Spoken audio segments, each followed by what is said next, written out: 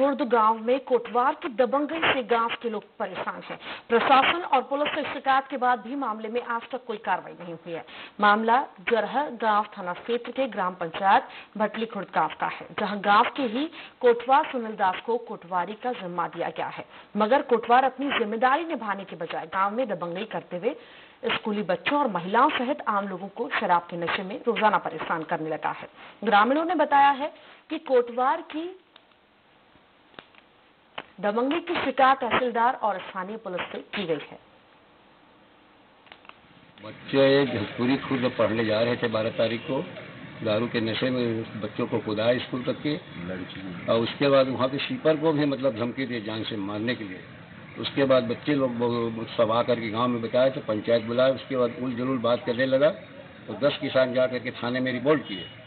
उसके बाद दूसरे दिन पटवारी साहब आए गिरदावरी करने के लिए ग्राम में। उसको भी धमकी दे रहा था।